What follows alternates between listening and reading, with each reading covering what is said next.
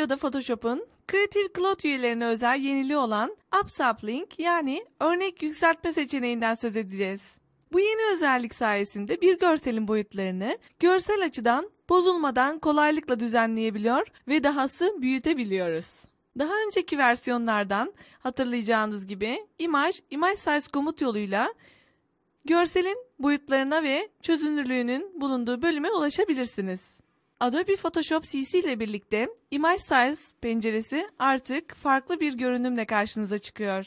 Daha önceki versiyonlarda bir görseli büyütmek istediğimizde Photoshop matematiksel açıdan pikseller atayarak bu görseli büyütüyordu. Yine Photoshop CC'de de benzer bir özellik var ancak bize görsel açıdan çok farklı özellikler sunuyor. Resample bölümünde bu büyütme işlemini yaparken otomatik, detaylara göre veya yumuşatılmış detaylara göre netleştirerek gibi daha farklı seçenekler de mevcut. Şimdi dilerseniz buradaki fotoğrafın boyutlarını büyütelim. Örneğin rezolasyonu 300 olarak düzenleyelim ve boyutlarını 30 santimetreye çıkartalım. Resample bölümünde şu anda otomatik olarak bu işlemi yaptık.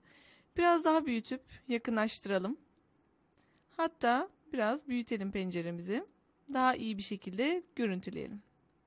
Gördüğünüz gibi biraz bozuldu. Preserve Details seçeneğini seçelim. Ya da Public Smoother. Sanırım bu çok daha iyi bir sonuç verdi. Bakın hem yumuşatarak bu büyütme işlemini yaptı. Böylelikle fotoğrafta da bir bozulma olmadan büyütme işlemini gerçekleştirmiş oldu. Diğer seçenekleri de tabii ki kullanabilirsiniz. Yakınlaştırarak yine bakalım. Böylelikle noisy oluşumu veya farklı bir oluşum olmasını engelleyelim.